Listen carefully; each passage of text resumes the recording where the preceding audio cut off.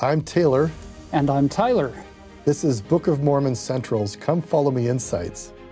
Today, Doctrine and Covenants sections 49 and 50. So, in section 49, we're introduced to Lyman Copley or Copley. Copley. And uh, he is an interesting character in, in church history. He joined the church probably in early 1831 in Ohio. He has been associated with a, a group that we uh, refer to as the Shakers. What can you tell us about the Shakers? Well, it's a really fascinating um, Christian group. They got started uh, as a breakoff from the Quakers. And you may be familiar with the Quakers. You may have purchased Quaker oats at some point and the man depicted on many of the Quaker products is actually William Penn, uh, for whom Pennsylvania or Penn's Woods is named. And he was one of the most famous Quakers. And one of their beliefs was if you've been saved and you have the Spirit of God, you should be able to visual, visually and physically manifest that the Spirit is with you. So you might be quaking at times when the Spirit's with you. And the Shakers kind of had that same idea. And so they, to distinguish between those who quaked with the Spirit, who shaked with the Spirit. They use those different words. But let me just share a word here that you might be familiar with the word enthusiasm, or another word that you might be quite familiar with inspiration. And what I want to point out is with the word inspiration, the word spirit shows up in this word. And anciently, the belief was when you're inspired, you literally have God's Spirit in you, acting in you. And this one is similar. Um, the word comes from theo, which means God, God in you. And the idea, if you're super enthusiastic, well, under normal circumstances, you don't act like that. So if you're that energetic, that must come from God. So the idea was enthusiasm is God's in you. So we see this even with the Shakers and Quakers that they must have God with them when they're doing all these rapturous, like loud, even like I'm doing right now, is got to have the Spirit. And it raises some questions that we'll be discussing here in sections 49 and 50. How, well, we, we talked about the gifts of the Spirit just a few sections ago. The question is, how do you build a unified community of believers? Well, it's through the gifts of the Spirit. Well, how do you manifest those gifts and how do you detect what comes from God and what doesn't? And just as a, a preview, if you go to section 50, verses 22 to 23, that the gifts of the Spirit are meant to edify all. And this is one of the big questions like, if somebody's doing things that seem a bit off and not edifying, now you can start to discern. Right. Now, it's important that we that we note something here that when you use a term like the Shakers, that that's kind of a it's a nickname their official name is the United Society of Believers in Christ's Second Appearing.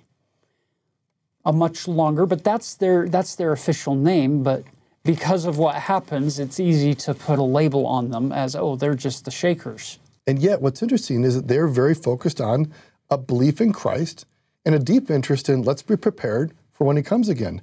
And you think, as members of the church, we also want to be known by the name that we believe in Jesus Christ and what's in our name? Of Latter day Saints. So, in some ways, the members of the church, the Latter day Saints, the Church of Jesus Christ of Latter day Saints, and the Shakers, well, the United Society of Believers in Christ, struggle with the same challenge is that they're known by their nicknames, right? Shakers, Mormons, even though they probably um, would prefer to be known by their full official name. Now, just so that uh, we we lay a foundation of understanding for the context of Section 49.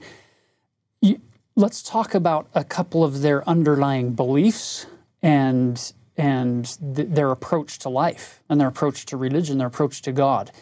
Some of these are going to sound very familiar to, to being very closely related to what we believe. Others are going to be totally opposite. So, so watch as this comes through. They believe in direct revelation to individuals. They, they aren't as big into a hierarchical setting in their church traditionally as other uh, Christian denominations at the time and in the region.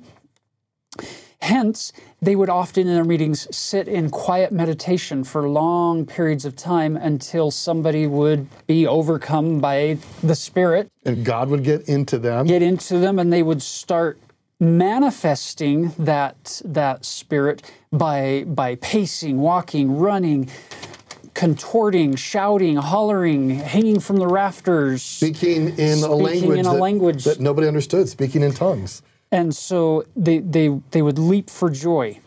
Uh, they also believed that the second coming had already occurred. The second appearing had already occurred in their mind in the character, in the person of Ann Lee, this woman who from 1772 to 1784 had led the group. There, there was at that time somewhat of a hierarchy because they all looked to Ann Lee as the embodiment of Christ having come to the earth again. Uh, and it's interesting that you didn't see a lot of this in uh, Christianity to have female leadership. So they really believe very much in equality that everybody's God's children and God can inspire anybody. And they actually got started in England. And Ann Lee, right, because of her, her preaching and telling people that they needed to repent, they need to fully let go of all their sins she got thrown in prison. She got persecuted. Um, and so she and her followers actually came to North America for religious freedom. And this is actually where she died. And she also got persecuted here too. So it wasn't like you leave one country for another and suddenly everything's Everything glorious. goes great. Um, they, they believe that the church that Jesus Christ established in the New Testament had completely uh, fallen away, that there was an apostasy. Consequently, they claimed that in order for it to be Christ's church, it would require a new revelation, a new dispensation, if you will, a new opening of his gospel rather than just a rearranging of the different Protestant or Catholic uh, faith that was in existence at, at that time. They also believe that marriage is worldly and that, that marriage relationships were evil, so to speak. And to make it more specific, ungodly. they weren't necessarily against marriage, but they did not believe in, uh, they, they believed that sexual relations were the foundation for all evil in the world. So, sure, be married, but you're going to live a completely celibate life, even if you're married. Even if you're married. And they would call, they, they actually referred to that doctrine as taking up the cross or carrying their cross, this, this complete celibacy. They believed Adam and Eve were the cause of the evil. They believed that Adam and Eve were the ones who brought all that evil into the world. And, you know, we feel differently that Adam and Eve were instruments in God's hand to help usher in forth his plan. Yeah. They also believed that uh, there is no such thing as the resurrection. Um, they, they believe that the spirit is once it once the, the body dies, the spirit can then soar and have a holy spiritual afterlife. So, no resurrection for them. They also believe that you need to confess, you need to repent, but you don't have to be baptized. There's no such thing as receiving the gift of the Holy Ghost. Ordinances are not required in, in their view. Uh, many of them believed that uh, meat should not be eaten, and, and many of them uh, preached the doctrine of, of being vegetarian as kind of the ideal. They also believed in consecration and stewardship. Hence, you get a lot of crossover with these early groups um, of, of Shakers with some of the early members of the church in Ohio they're, they're living all in the same regions. They're, they're trading with each other. They're doing business with each other. Some, some of them have family members and vice versa in both congregations. They're very well acquainted with each other in this area. And so there's going to be a lot of crossover in the way the early members of the church try to live the law of consecration, kind of following some of the same patterns learned there. The other thing that they believe regarding uh, the Godhead is they envision God as Heavenly Father and Heavenly Mother. And they, they refer to the eternal uh, mother in heaven.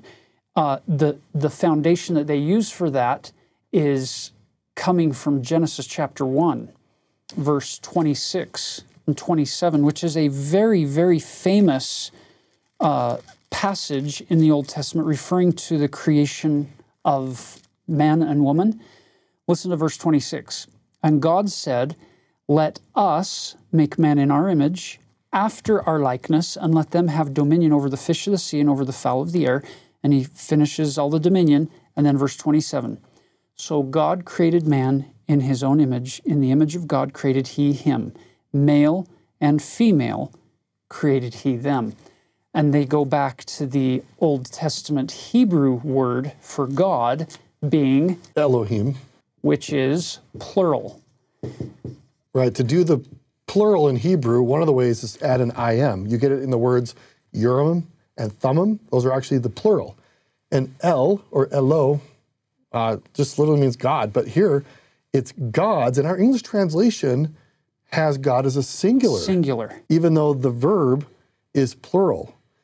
Yes. But if you actually look at the Hebrew, it's it's the plural throughout. And so they're they're taking that idea and they're seeing that gods said, "Let us make man in our likeness and image," and they end up doing that, creating man and woman, male and female, in the image of God. So the the Shakers doctrine is very very comfortable with this this neither the man without the woman, neither the woman without the man in the Lord. And uh, so, so I hope you're seeing as we've gone through this list that on many points we we're totally divergent from their beliefs, but on other doctrines. We, we could say, yeah, I, I understand where you're coming from here, and, and we would we would agree with many of the things that they're that they're teaching. And for the early saints who are seeing both commonalities and divergences, the question arises like, well, what's true? What should we be focusing on? Which necessitates the need for revelation, which we find in D&C 49 and also in 50. Yeah. So the first time that we run into this this group of uh, of United Society believers in Christ's second appearing is with those four missionaries who left New York to go out to the, the to preach to the Lamanites on, in the frontiers. They had stopped at various places on their way coming through Ohio. One of the places is North Union, where there's a, a body of what we would call the Shakers living there. They left, they, they preached uh, a few days, many days. Then they left some copies of the Book of Mormon with that group, and then they continued on their journey. So, Ashbel Kitchell, or Kitchell, however you want to pronounce his name, is kind of the, the leader of that group in North Union. And he, he took seriously, I think, the, the idea that he wanted to read the Book of Mormon and find out if it was true. Uh, his request to know if this was true isn't going to come full circle until we get another group of missionaries coming to him, which they get their mission call to go do that in section 49 that we'll cover in just a moment here. Uh, in the meantime, most of the Shakers that had heard that preaching and that had seen those missionaries come through, most of them rejected their message. But there was one guy who actually believed and gets baptized in early in, in 1831, and that is Leman Copley, which is kind of the center focal point for our, our historical context here in section 49. So Leman Copley, when once Joseph Smith comes to Ohio, he he is fully in the church, but he's still holding on to some of these these shaker beliefs and he's wondering which which ones should I believe from my from my past and which ones should I embrace from my present and and how do I bring those together And he comes to Joseph with, with this question of what should I believe, what shouldn't I believe, and what do they have that's right, what do they have that's wrong? And hence, section 49 comes along. With the command, after this revelation is given, Leman Cop- uh, Copley, Sidney Rigdon, Parley P. Pratt are told, we now go to the Shaker community and read this full revelation to them. Yeah. I mean, can you imagine somebody coming into our one of our ward buildings today and like, so I have a revelation to read to you guys, and it's actually you all need to repent. Like you can imagine how people respond. And what's interesting about Leman Copley is that um, he's very sincere, but really throughout his life he was basically part member and part shaker. Like he found himself out of the church at one point, gets rebaptized, and after the saints, after persecution, head west. He stays behind, and our best evidence is that he rejoins the Shaker community later in life. Yeah, so he, he, never seems to really. He, he's in and out and in and out and in and out of of his his engagement with the church, and actually does some things that cause intense persecution for the prophet and for other members, and then later apologizes and asks to be rebaptized, and Joseph forgives him. He gets rebaptized, but then he just stays there. He seems more focused on on being torn between these two ideals or between these two uh, approaches to, to religion, and he ends up staying there as the church keeps moving moving west. He never never comes with them. All right, with that introduction, let's open up to section forty nine. Let's start in verse one. Hearken unto my word, my servants Sidney and Parley and Leman. So those are the three who are now called on this, this mini mission to go to, uh, to visit the Shakers up in North Union, Ohio. For behold, verily I say unto you that I give unto you a commandment that you shall go and preach my gospel which you have received, even as you have received it unto the Shakers. Behold, I say unto you that they desire to know the truth in part, but not all. Huh.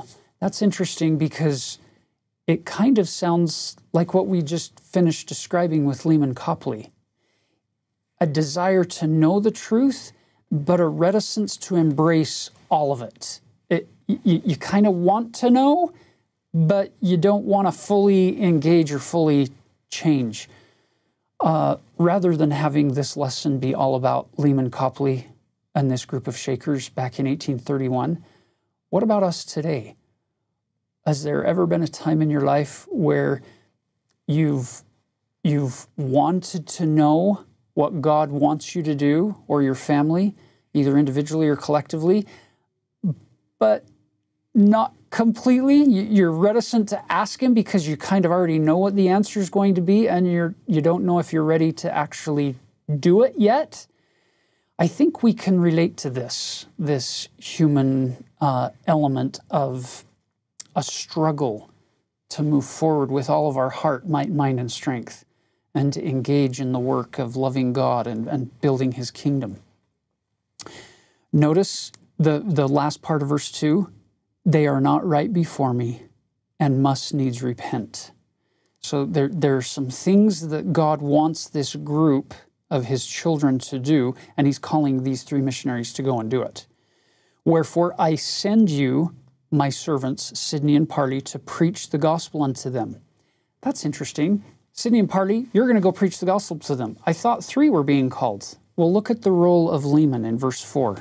And my servant Leman shall be ordained unto this work that he may reason with them, not according to that which he has received of them, but according to that which shall be taught him by you, my servants. And by so doing, I will bless him. Otherwise, he shall not prosper. Interesting that you have these two, uh, can we call them seasoned veterans of the church? The church is, is you know, barely a year and a, a few months old at this point. And uh, Sidney hasn't been in the church from the very beginning. Neither has has Parley. This is this is a, a, young group as far as the gospel is concerned, but Sidney and Parley have much more experience in the gospel than Leman. And so God's telling him, learn what you can from, from these other two missionaries who, who have maybe a little more experience. Look at verse 5. Thus saith the Lord, For I am God, and have sent mine only begotten Son into the world for the redemption of the world, and have decreed that he that receiveth him shall be saved, and he that received him not, receiveth him not, shall be damned. Did you notice something interesting in verse 5 that we haven't seen a whole uh, a whole lot of in the Doctrine and Covenants up to this point. I am God and have sent mine only begotten Son into the world. Huh. It sounds like the voice of the Father here. Previously, in your Doctrine and Covenants, we've heard mostly the voice of Jesus Christ speaking to people through Joseph Smith, the prophet. But here, it comes out as I am God and have sent mine only begotten Son. So we have a couple of options available. We have the option that it is the Father speaking. Another option is that it's the Son speaking, that it's still the voice of Jesus Christ as it is in the other revelations, but here it's possible that he's speaking under divine investiture of authority. Because we have other places in the scriptures where, where certain prophets have told us that's what's happening. The, the interesting note here is to say, where else do we know in Scripture that the voice of the Father is, is speaking? The clearest place that I know of anywhere in Scripture is when the Father and the Son are standing together side by side in the sacred grove, and the Father says to young Joseph, Joseph, this is my beloved Son. Hear him. That's very clearly the Father. There are other places like the baptism of Christ, the Mount of Transfiguration, the, the Nephites and Lamanites in 3 Nephi 11, at the coming of Christ when they hear the voice of the Father, those are very clear cases of where the voice of Heavenly Father is being heard by, by people on the earth. You get other places uh, for fun. A cross reference that you could put next to uh, verse 5 there is 2 Nephi chapter 31 and in this section of the scriptures, you're at the very end, towards the end of Nephi's life. Let's start with verse 10. This is Nephi writing, remember? He saith unto the children of men, Follow thou me. Wherefore, my beloved brethren, can we follow Jesus, save we shall be willing to keep the commandments of the Father? And then verse 11, And the Father said, Repent ye, repent ye, and be baptized in the name of my beloved Son. So there, Nephi is scribing, and the voice of the Father says, What? What was his message? Repentance and baptism in the name of his Son. Keep in mind, before we go any further, brothers and sisters, that baptism and repentance and faith in Christ, these aren't man made ideas or notions or ordinances. These weren't invented by humans saying, what can we do to try to connect with God? These are things that the Father has given to us as means whereby we can connect with Him and with the Son through these, these uh, steps that He has laid out for us. Look at verse 12. And also the voice of the Son came unto me, saying, He that is baptized in my name, to him will the Father give the Holy Ghost like unto me. Wherefore, follow me and do the things which ye have seen me do. Don't you love the fact that the Father is the one who lays out the path that has to be uh, followed? And then Jesus comes to the earth and shows us that path. He lives it, He becomes all of, all of the things that the Father has laid out for us. Now, you turn the page over, look at verse 14. But behold, my beloved brethren, thus came the voice of the Son unto me, saying, and again, he's going to focus on repentance, baptism, gift of the Holy Ghost, and, and how you should stay on the path. Then look at verse 15. And I heard a voice from the Father saying, Yea, the words of my beloved are true and faithful. He that endureth to the end, the same shall be saved. I wanted to point that section of the scriptures out to us in 2 Nephi 31 for a very important reason. Because it's in that section where you get the voice of the Father and the voice of the Son. So that's verse 11, verse 12. And then in verse 14 and 15, you get the, the voice of the Son and then the Father. And they're both sharing the gospel as laid out by the Father and carried forth by the Son to Nephi in that context. Consequently, as we now flip back in our scriptures to section 49, it shouldn't bother us that Father and Son could both speak to Joseph Smith or through Joseph Smith to other people for, for varying reasons, as, as there is precedence for that in scriptures that have come before. Here's the point uh, regardless of what the, the reality of whose voice it actually was speaking, I think Jesus would emphasize the, the oneness, the unity, this idea that they are they are one, the Father and the Son. And to use Jesus' own phrase from section one, whether by mine own voice or the voice of my servants, it is the same. I think he would say, I think Heavenly Father would say, whether by mine own voice or the voice of my Son, it is the same eh, the, the, the work, the glory, the purpose, the, the perfection, the intent, the, the effort, the mission, all of it, it's the same. And so some people will get really confused and really frustrated. Wait, I can't tell whose voice this is in the scriptures.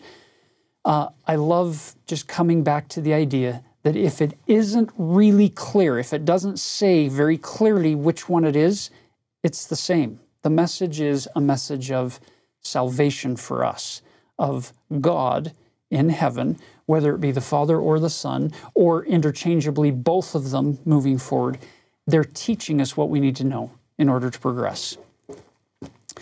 Uh, which, by the way, a must have cross reference next to verse 5 could be section 50, verse 43.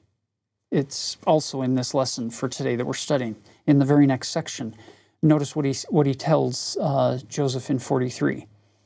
And the Father and I are one. I am in the Father, and the Father in me. Pause. Many people would read that and say, Oh, so members of the Church of Jesus Christ of Latter day Saints are Trinitarian? Keep reading.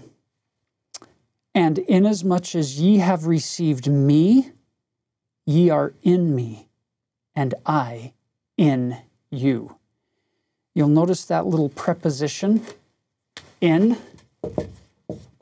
Very important two letter word here. Back to the beginning. The Father and I are one. I am in the Father, and the Father in me. And inasmuch as ye have received me, Ye are in me, and I in you.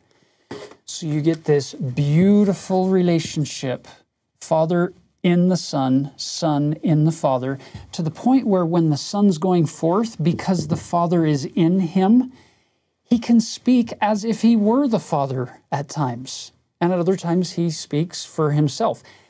Hmm. Then enter you in the picture. Same comparison.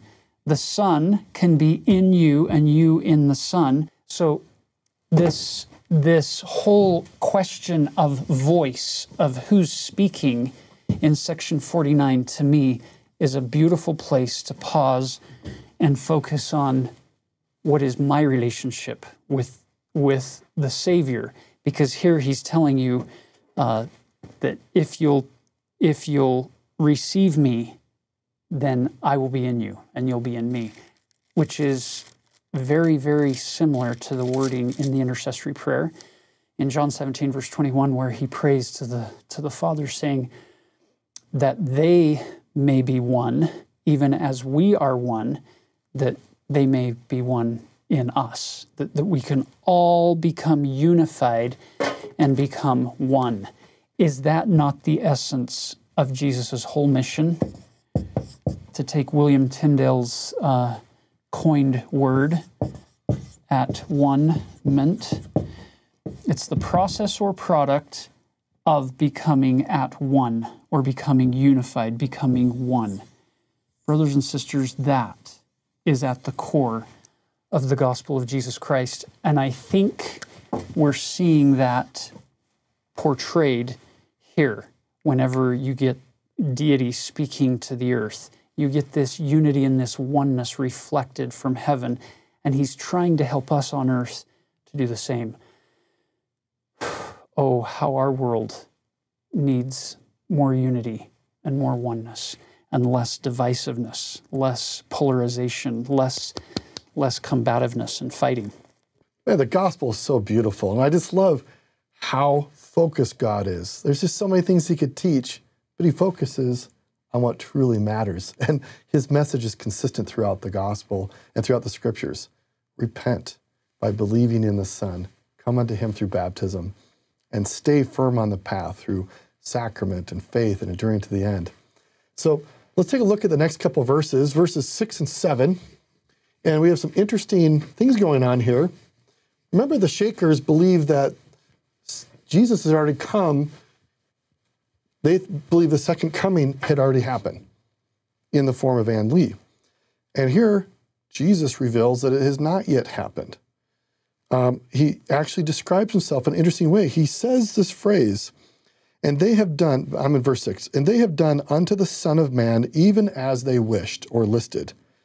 And he has taken his power on the right hand of his glory, and now reigneth in the heavens, and will reign till he descends on the earth to put all enemies under his feet, which time is nigh at hand. So, meaning the second coming has not happened. There's an interesting phrase that Jesus uses to describe himself Son of Man. Now, this phrase, sometimes you see it in the Old Testament with the M lowercase. When you see Son of Man with the M lowercase, it actually means human. But when you have an uppercase, it actually means a heavenly character or heavenly individual endowed with power, and usually referring to Jesus Christ himself. And if you notice here in this verse, the references to heaven and to power. And so, Son of Man is the perfect title for God or Jesus in this verse because he's talking about his heavenly power filled qualities. And Tyler, we were talking earlier about how in our scriptures we are given additional information about Son of Man. And I'll just point out briefly that for a lot of years, people have been confused about Son of Man and the phrase Son of God. And I'll, yeah, this is a bouncy board. We only discovered, scholars only kind of made this clear in the last, I don't know, 100 years plus that there's a difference between these two phrases. Son of man refers to a heavenly person, Son of God is an earthly king or the Messiah. What do we learn from the Pearl of Great Price from Revelation before the scholars discover this? So while Joseph's doing the translation of the, the book of Genesis, he comes across the, the sections on Enoch and embedded in there, in Moses chapter 6, verse 57, we get this little gem Wherefore, teach it unto your children that all men everywhere must repent. What percentage is that? All men everywhere. And we understand that when referring to men, we're referring to all mankind, all, all of God's children or they can in no wise inherit the kingdom of God, for no unclean thing can dwell there or dwell in his presence. For in the language of Adam, so we're going back to Adamic here, man of holiness is his name, and the name of his only begotten is the Son of Man, even Jesus Christ, a righteous judge, who shall come in the meridian of time. So, Son of Man is a shortened form in this uh, Enoch passage for Jesus Christ, whose full version there would be Son of Man of holiness. Jesus Christ is the Son of Heavenly Father, the Son of Man, the man. I love that title. And coming back to this, so we often see these phrases again, Son of Man, lowercase, just means any human. When you have the uppercase, it's this heavenly character, and it's actually Jesus, full of power and ability. And then Son of God is an interesting one because it really actually refers to a human, an earthly king, a Messiah, one who's been anointed to be the king. Now look at how does Jesus define himself in the New Testament? He usually calls himself the Son of Man because he's come from heaven with all his power. What do people often call him? The Son of God, that he's the King, the Messiah. And he is. He is these things. But it's interesting how he chooses to represent himself to the people to help focus on, on things that matter. Because for the Jews, they really wanted an earthly king to liberate them from the oppressive, the oppressive Romans. They wanted that, that Son of God, Messiah. And he's like, I'm actually far beyond that. Let's now talk about Jesus returning from heaven a second time. Look at verse 7. I, the Lord God, have spoken it, but the hour and the day no man knoweth, neither the angels in heaven, nor shall they know it until he comes. Now, we live in a world where people spend a lot of time predicting the end. Let me just share a brief story from about a generation or two before the time of Joseph Smith. This happened in New England. It was called the Dark Day. It happened on May 19th, 1780. Um, many people, well, actually, all of New England basically had a blackout. There was so much fog, cloud, dust, and smoke in the air. It was so dark that at noonday, people had to light candles to be able to go about their business. And this persisted for more than a day. And for many people, they saw it as a sign that this was the day of judgment. The end has come. Now, it's very interesting. We have a Connecticut state senator who's going about his business. He's in, in the state Senate chambers with the other state senators, and people are starting to freak out because the world's gone black. It's gone dark and they're all worried, like, oh my gosh, it's the day of judgment. Maybe we should all flee. Maybe we should all get out of here. And Abraham Davenport, the state senator, says this I am against adjournment. I'm, a, I'm against leaving the chamber of our work right now. The day of judgment is either approaching or it is not. If it is not, there is no cause for adjournment. If it is, I choose to be found doing my duty. I wish, therefore, that candles may be brought. I find that very compelling that wherever we are in our lives, we should not be fearful of whatever day it is. We should be diligently about our duty.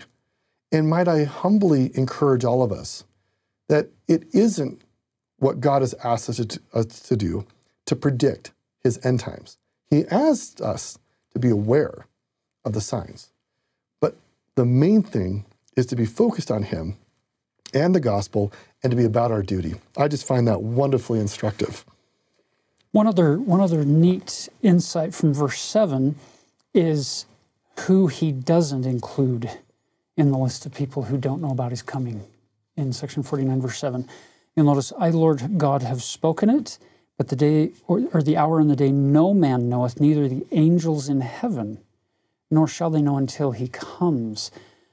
Interesting. Not even the angels in heaven will know the day until the day he comes. What does that tell us about this, this effort that has been around for so long of people trying to predict and say, okay, this is when it's going to happen? Brothers and sisters, he doesn't include himself anymore. Jesus is not on that list. Whereas in Matthew chapter 24, verse 36, he tells the people on the Mount of Olives, his disciples, he says, I don't even know when my second coming is going to be. And, and he's right at the towards the end of his, his life, his mortal ministry in chapter 24 of Matthew, and he's saying, I don't even know when it's going to be. Only the Father knows. But now you'll notice, now that he's resurrected, glorified, perfected, he's a God fully, fully exalted in heaven. He's no longer included in that list, along with us and the angels of people who don't know the day or the hour of his coming. And again, I just love it's like, why spend time focusing on things that we don't know and they actually don't matter to our salvation because you will experience a second coming, either when you die and you will meet Jesus or when he shows up on this earth. And so it really is irrelevant about when that day will be, except have you believed in Jesus? Have you repented? Have you been baptized? And have you stayed steady? And that's exactly what you were reading in 2 Nephi chapter uh, 31. The Father and the Son are both testifying. They're not testifying about the end times and you need to know this particular hour. So I just find that extremely instructive that we should just stay focused on what really matters. Interesting. I wonder I wonder if there will be a pattern that whenever God speaks about the end times, that he doesn't just leave it hanging with this this eerie feeling in the air of oh no, I wonder if it's if it's going to be this year or next year or if I'm going to be alive. I wonder if he's going to follow a pattern that has been found in lots of other places in the scriptures where after talking about end time prophecies, he usually follows it up with an invitation to live his gospel, which involves having faith in him or repenting or being baptized, getting the gift of the Holy Ghost, and enduring to the end. I wonder if any of those elements might come up next. Let's go to verse 8. Wherefore, I will that all men shall repent. So in English, that, that phrase, I will, is it's my desire, it's my will that all men shall repent. There's 100% again and your invitation to focus on things that you do have control over, which is repenting. For all, notice the percentage, that's 100% yet again, are under sin. The idea being, brothers and sisters, it does us no good to point fingers of accusation. Boy, that group needs to repent, and that person needs to change, and they need to repent. He's saying all are under sin. Everyone needs to repent. Verse 9 Wherefore I say unto you that I have sent unto you mine everlasting covenant, even that which was from the beginning. And he's made all these promises to the earth. Look at verse 11. Wherefore I give unto you a commandment that you go among this people and say unto them, like unto mine apostle of old, whose name was Peter. Verse 12 Believe on the name of the Lord Jesus Christ, who is on the earth and has come, the beginning and the end. Repent, be baptized are you, are you seeing the pattern here? Believe. This is the essence of faith in the Lord Jesus Christ in verse 12, repentance, baptism. Verse 14, whoso doeth this shall receive the gift of the Holy Ghost. There are your principles and ordinances of the gospel. Instead of putting all of our focus on things that don't matter, that we have no control over, rather, put them on the things that we do.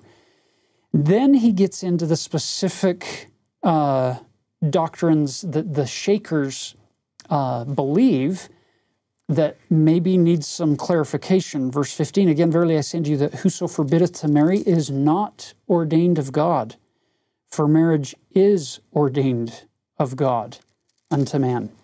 Wherefore it is lawful that he should have one wife, and they twain shall be one flesh, and all this that the earth might answer the ends of its creation.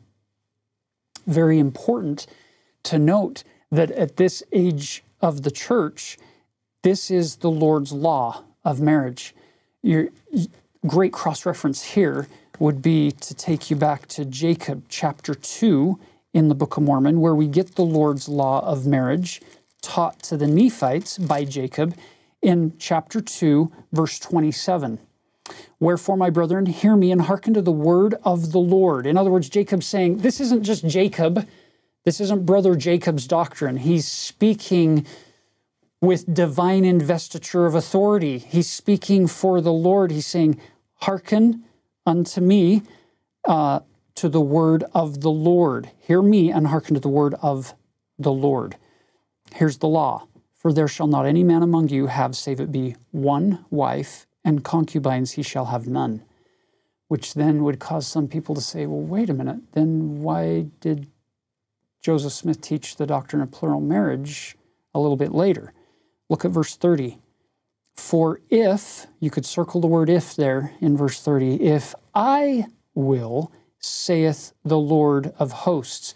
Are you notice, noticing Jacob speaking for the Lord directly? For if I will, saith the Lord of hosts, raise up seed unto me, I will command my people. Otherwise, they shall hearken unto these things. So you get the law of marriage, one man, one wife, and then this exception that will come when the Lord commands it. And that's it. It is not up to mankind to determine when those times are going to be. So that sets the stage for, for that uh, doctrine being taught a little bit later. Notice verse uh, 18. And whoso forbiddeth, or you notice in the footnote, it says biddeth, because it, it, if, if you read verse 18 the way it is, it sounds like a double negative. But verse 19 clarifies that it's not a double negative in this context. Whoso biddeth to abstain from meats, that man should not eat the same, is not ordained of God. Why? For behold, the beasts of the field and the fowls of the air and that which cometh of the earth is ordained for the use of man for food and for raiment, that he might have in abundance. Now, the qualifier, verse 20. But it is not given that one man should possess that which is above another, wherefore the world lieth in sin. Quick clarification. It's important that we note that God doesn't tell you it's evil to choose not to eat meat. You'll notice the qualifier here is that you're preaching or you're setting this up as a as a requirement or a doctrine for others. People have agency. You can eat whatever you would like or not eat whatever you would like according to the principles that we're going to learn in section 89 from the word of wisdom. But it's when we undertake to make that a central focus of the gospel or a, a, litmus test, if you will, for our discipleship, that we're no longer um, ordained of God. Bottom of verse 18. So, what you do personally is one thing, what you try and get other people to do is an entirely different matter. Let's, let's focus on this word abundance. God created the world for it to be fruitful, bountiful, and abundant. And He wants to give us of that abundance. That is one of his purposes in life. He wants us to have abundance. But I love this qualifier in verse 20. It is not given, this abundance that God has provided is not given that anyone should possess that which is above another. He's basically saying, I don't want inequality. We've said this before, I think it's worthwhile to say again. The word inequality actually is the same word as iniquity. If you look up the root of both these words, they actually come from the same word. They're actually just variants of the same word. Iniquity derives inequality, and inequality leads to iniquity. God has given in abundance, but when we separate that abundance out, this is the consequence. And so we have things in the church to, to help with that. We've all been given callings where we all get to serve and share of our own personal wealth in the terms of our time and talents to bless the lives of others. There's tithing, there's uh, fast offerings. What God has not commanded is for us to live the united order at this point, though He has commanded us to be consecrated to consecrate our lives to Him and to our fellow brothers and sisters. And this is a hard one. I think we all struggle with this. I live in the world like the rest of you. I deal with this. I often think more, I'd like to have more in abundance. And when I get more of that abundance, I'm like, boy, I'm really grateful to have that abundance. And I think, well, what should I do with it? And, but I just want you to focus again that God is willing to give an abundance. He wants you to have flourishing lives. And then the invitation is for you to act like God and to give others in abundance that they might also have flourishing lives. Now look at the the the follow up to this whole conversation about uh, the the eating of meat and the beasts and the fowls and and uh, the the possession of things in the world. Look at verse twenty one. Woe be unto man that sheddeth blood, or that wasteth flesh, and hath no need. Life is sacred, life is special, and it's to be treated with dignity and respect, and not wastefully or, or wantonly destroyed. Um, then he shifts gears. Look at verse 22. Again, verily I say unto you that the Son of Man cometh not in the form of a woman, neither of a man traveling on the earth. Wherefore be not deceived, but continue in steadfastness, looking forth for the heavens to be shaken and the earth to tremble and to reel to and fro as a drunken man. And he goes on to describe more and more of those uh, signs that will be granted. And what's interesting is that this revelation is given to the shakers. And God's like, the real shaking you should look for is the shaking in the heavens and the earth that, that he'll bring forth. I just think it's kind of a fun little connection. Yeah, it is. Especially because they think that Jesus has already returned in the form of Ann Lee. And, and the Lord is making it very clear don't be deceived. You, nobody will need to, to try to convince you that Jesus is, has returned. The scriptures in other places are very clear that every knee will bow and every tongue will confess when he comes in the clouds of glory. Nobody will need to, to nudge you in the ribs and say, hey, I think that's Jesus. We'll, we'll all collectively bend the knee, confess with our mouth that he is Lord and has returned, and it will be very clear to everyone. Then he finishes with this promise of Zion flourishing in verse 25 Zion shall flourish upon the hills and re- rejoice upon the mountains, and shall be assembled together unto the place which I have appointed. Behold, I say unto you, Go forth as I have commanded you, repent of all your sins, ask and you shall receive, knock and it shall be opened unto you. And then verse 28 Behold, I am Jesus Christ, and I come quickly, even so. Amen. And let's look at this one word here in verse 27 rear, rear ward. Now, many of us are in wards, and the word ward actually means protection. So he's protecting us from the rear, which means we shouldn't be retreating. We shouldn't be looking back because he's got our back, literally. He's like, press forward. I am your protection. And I want you to think that if you are in a ward, that is a form of protection, particularly if you are consecrating yourself to serving others, that mutually, through the power of God, you're experiencing this protection in the covenants of God. Wonderful. Now, at the conclusion of sharing this revelation with the, the Shakers on that uh, Sabbath day, keep in mind, they received this revelation on a Saturday, and Leman immediately left with Sidney to go to to this uh, settlement in North Union, and they they uh, had this long interaction with Ashbel Kitchell, kind of the leader of that group, that evening, and he wasn't convinced by what they had uh, shared with him about their doctrinal differences. But the next morning, Sunday, he invited them to join in their in the Shakers worship service. By this time, Parley Pratt has now arrived, and so the three of them go in.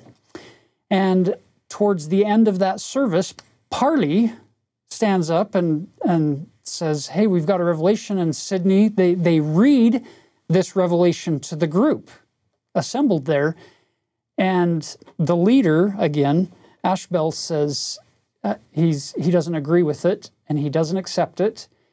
And they say, What about the others? And he, Ashbel, lets them all give their word as well, because they feel like each individual can speak for the Lord separately, and they all agree with their leader.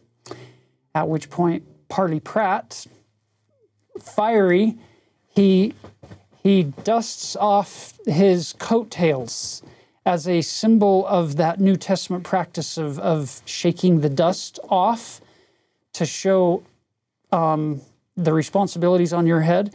At which point, the leader, um, Ashbel, he he was not impressed, and he was a bit uh, angry, and basically tried to put them in their place, and they left. The um, party left immediately, and went went back to Kirtland. Brothers and sisters, there wasn't a lot of gain from that particular mission that was uh, called in section 49. And so we would be we would be left here in our day saying, why did God send them? Because God knew that none of these Shakers were going to accept it. And no worldly gain would come from it as far as converts or increase to the kingdom of God in the Church of Jesus Christ of Latter day Saints. So, why would He send them? I love the fact that God honors and respects agency. Just because somebody isn't going to accept the gospel is not a good reason to not share the gospel with them because of agency. We give people every invitation, every opportunity that is reasonable to, to be able to learn and respond to the message of the gospel, which is to have faith in Christ, repent of our sins, get baptized, get the gift of the Holy Ghost, endure to the end on that covenant path. We give every, that is our message to the world. Whether the world accepts it or not is entirely up to their agency. So if you're a missionary or know a missionary who served and didn't have a lot of baptism, so to speak, those, those earthly measures of success, uh, I don't know that that's the way heaven is measuring success. Those three uh, missionaries learned a great deal in the process. And keep in mind, they're very young in the gospel and they're learning and growing line upon line, precept upon precept. And I love the fact that God's working with them. Which now brings us into another thing that this young, relatively young group of, of saints has to learn in section 50. We've mentioned it before in other sections associated with, with the Ohio area, but now it, it kind of becomes central this idea of people having these crazy manifestations of what they're calling the Spirit in their worship. For some context, here's what Joseph Smith recorded about what was happening in Kirtland soon after his arrival. And again, it's a very young church, and people are influenced in part by the Christian traditions that they were familiar with, like the Shakers and Quakers and, and other traditions. Soon after the gospel was established in Kirtland, and during the absence of the authorities of the church, Joseph Smith records, many false spirits were introduced. Many strange visions were seen, and wild, enthusiastic notions were entertained. Men ran out of doors under the influence of this spirit, and some of them got upon the stumps of trees and shouted. And all kinds of extravagances were entered into by them. One man pursued a ball that he said he saw flying in the air until he came to a precipice when he jumped into the top of a tree, which saved his life. And many ridiculous things were entered into, calculated to bring disgrace upon the church of God, to cause the Spirit of God to be withdrawn, and to uproot and destroy those glorious principles which have been developed for the salvation of the human family. So, the Spirit of God, like a fire, is burning. The Spirit and gifts of God are with us for those who've chosen to follow God. But the question for this young church was how are those gifts to be manifested? And the key point in this section is the gifts of the Spirit are meant to edify. The word edification means to build, and not just to edify one person, but all. And that is the crux of this section is how do we use the gifts of the Spirit to build the kingdom of God instead of distracting and destroying the Spirit with overexuberant, non spiritual gifts that people claim falsely are the gifts of the Spirit. So we'll spend just a bit of time here in this section looking at God's revelation about how to engage better with the Spirit and to detect what's true and what isn't. So after after his introduction uh, verses in this section. He, notice in verse 11, he, or actually verse 10, he, he transitions where, where the Lord now basically says to them something along the lines of pull up a chair, sit down with me, let's have a direct conversation. Look at the way he says this. Verse 10 Now come, saith the Lord by the Spirit, unto the elders of this church, let us reason together that ye may understand. Let us reason even as a man reasoneth one with another. Face to face. So here's Joseph, the prophet, and he's speaking this revelation very clearly, one phrase at a time, so that anybody could dictate or write it down, scribe it very clearly. And he's speaking to them. Look at verse 13. Wherefore I, the Lord, ask you this question Unto what were ye ordained? What did I call you to do and ordain you and authorize you to do? Verse 14 to preach my gospel by the Spirit, even the Comforter which was sent forth to teach the truth. He introduces this idea of teaching by the Spirit. You could use that English phrase in a couple of ways to, to interpret it. You could say, I'm teaching by the, the power of the Spirit in what I say. Another way that you could use it is in the preposition form of the word by. I'm teaching by the Spirit. He's, he's beside me. He's guiding me in what to say, in, in what to do, and what to teach, and how to teach it. Uh, look at verse six, uh, sorry, 17. Verily I say unto you, he that is ordained of me and sent forth to preach the word of truth by the Comforter in the Spirit of truth, doth he preach it by the Spirit of truth or some other way? And if it be by some other way, it is not of God. He's basically saying the ends don't justify the means. You can't say, well, I'm trying to bring souls to Christ, so it doesn't matter what techniques I use. No, it does matter what techniques we use. We can't use uh, these, these false spirits that will occasionally do good things or occasionally tell truths, even in order to get you to tune your ear to them so that you will then trust them when they deliver the deceptions and the lies to get you to follow.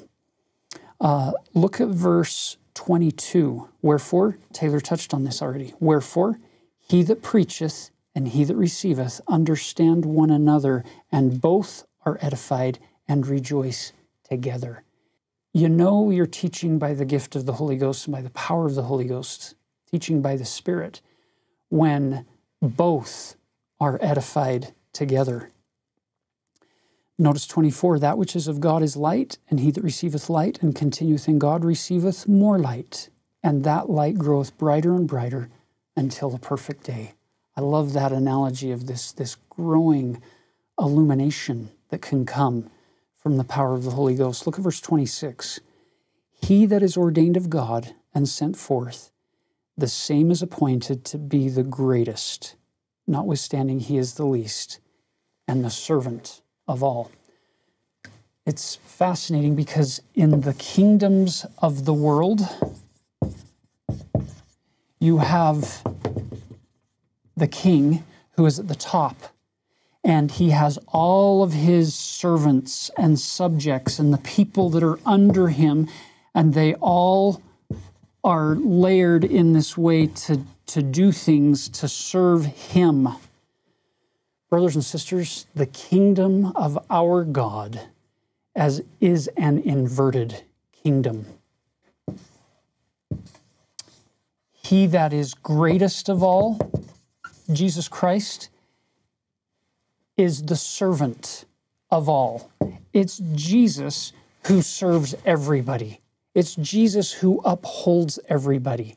King Benjamin portrays this as a righteous king, a very unusual king in worldly standards when he tells his people, which, by the way, he calls them my brethren, uh, he, he puts himself on their level and he says, I have served you my whole life. You haven't had to provide for me.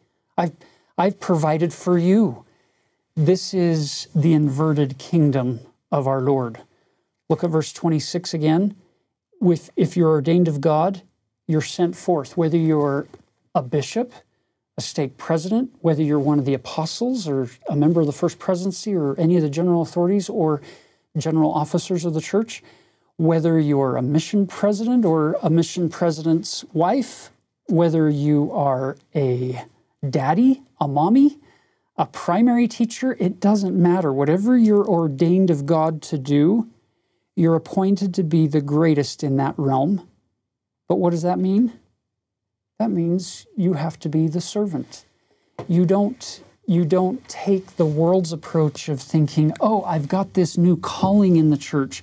Look at all the people who are now going to serve me. It's, oh, I've got this new calling in the church. Look at all these people who need my service. Or I've got this new calling in my family as, as a new father. Look at this new life that needs my service. And the more we become like Jesus, the more we find joy in serving, in turning outward, in lifting, in sharing of the abundance that God has given us, whether, like Taylor said, whether it's our time or our talent or our money, our energy, our gifts, all of our resources that, that are given to us, we simply now send them further up this inverted kingdom line whenever we're called or appointed to anything or ordained of God. Look at verse 30. Know this it shall be given you what you shall ask. And as you are appointed to the head, the Spirit shall be subject unto you. He, he makes it clear that there will be opposition, but if you turn to the Lord, He'll guide you, not just in answering your prayers, but He'll even guide you in what to pray for. What a beautiful thing it is when, you can, when we can get beyond the, the pseudo memorized version of our prayers.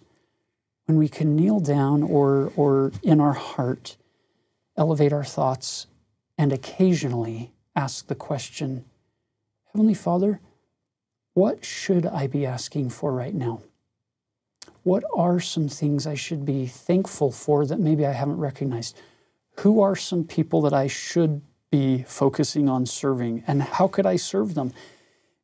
Bless me to know what to even ask for, is kind of the message here. And he, he assures us that it will be given to us. Verse 31 Wherefore it shall come to pass that if you behold a spirit manifested that you cannot understand, and you receive not that spirit, Ye shall ask the Father in the name of Jesus, and if he give not unto you that Spirit, then ye may know that it is not of God. This, brothers and sisters, is not something that, that you can find a scientific instrument to measure, but God has given you revelatory instruments that far exceed anything invented by man, given to us by our, by our, our God, a mind and a heart to perceive what is right, what is wrong. And if you leave either your mind or your heart out of the conversation when seeking truth or when people are making claims or you're trying to decide, is this of God or is this not? Is this a, a false spirit or a false claim or a false doctrine? If you leave either revelatory instrument out of that conversation, you're more likely to be deceived. You use all of the powers of the intellect to triangulate the data that you're that you're receiving, triangulate it with other scriptures, other prophetic statements and quotes and doctrines and teachings of the Lord that come through inspired sources and, and means. You triangulate it here, and does it taste good? Does it feel right?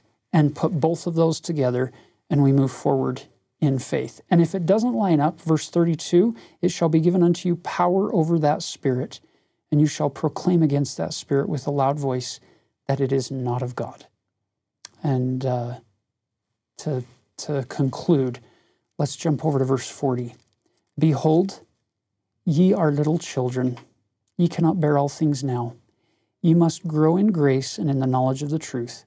Fear not, little children, for you are mine, and I have overcome the world, and you are of them that my Father hath given me and none of them that my Father hath given me shall be lost.